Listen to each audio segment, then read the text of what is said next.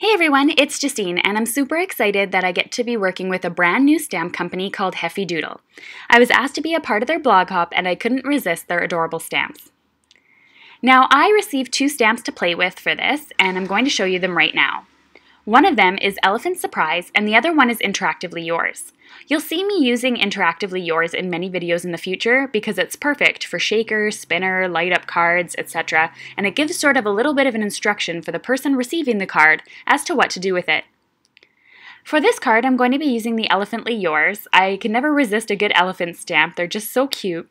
And I'm going to be making my very own background using different elements from the elephants and the little stamps like the balloon and cake.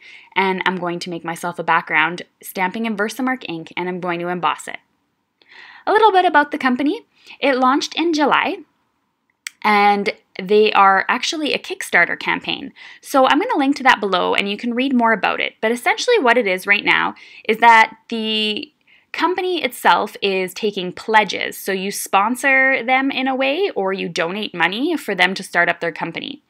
And in return, you're going to get stamps and dies. So at the moment, during the month of July, they are actually just collecting orders and nothing is actually being shipped or produced. So, for example, they needed about 400 pounds, so about 450 US dollars to start their company and start making it a success. And so far, they've had over 8,000 pounds in sales. So that's super awesome. And then during the month of August, so you have until the end of July to purchase the stamps at a discounted price. And in return, you're actually sponsoring the company's startup. So it's really cool. The only thing is, though, and kind of in return of getting that discount, is that you have to wait until September for the stamps to start shipping.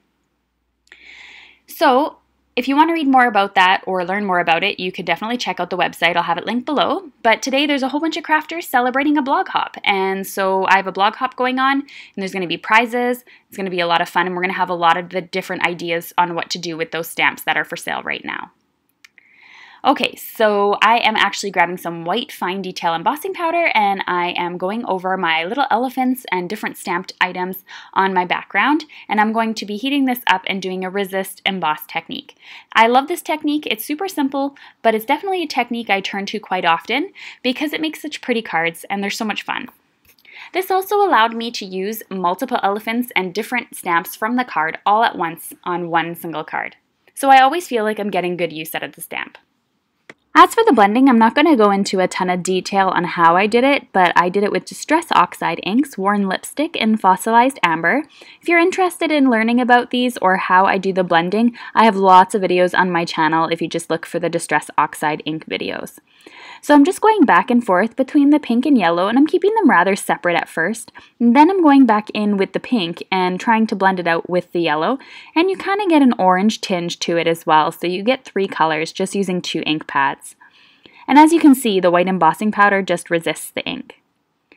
I grabbed my spray bottle, added some water to it, and I heat embossed it again so that it just laid flat and it dried. I was too impatient to let it air dry, and I didn't want my cardstock to warp too much. So after that was finished, I needed to do my sentiment. So what I decided to do was grab a piece of black cardstock as well as a sentiment from the elephant stamp. And I used my embossing buddy here so that no embossing powder stuck to it. And I like to put my sentiments onto my cardstock or onto my sheet and then pick them up with my block. I find I get them straighter and it's a little bit easier and I heated that up with some white embossing powder, which is no different than what I had done on the background. Then I simply needed to cut this out and add it to my card, so I used my paper trimmer to cut it down, but I wanted to add a little bit more interest, so what I decided to do was just um, do a fish banner. So what I did was put a white dot in the center and I cut using my scissors from the corner to the white dot and then I was able to create a nice little banner here on the end and I stuck that onto my card but I didn't want to stick it on just yet until I did the card base. So uh, this is an A2 size card which means my cardstock is 11 by 4 and a quarter folded in half at the 5 and a half inch mark. I grabbed my Tombow Mono Liquid adhesive and I added a lot of glue because the cardstock did warp a little bit with the water, so I wanted that to stick down flat. And I added the sentiment so that it stuck off onto the white cardstock.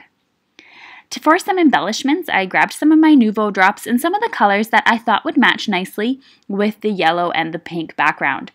So I ended up using the jewel drops, which have a transparent look to them, and I used the pink and the orange ones to just add a little bit of an extra touch to the card.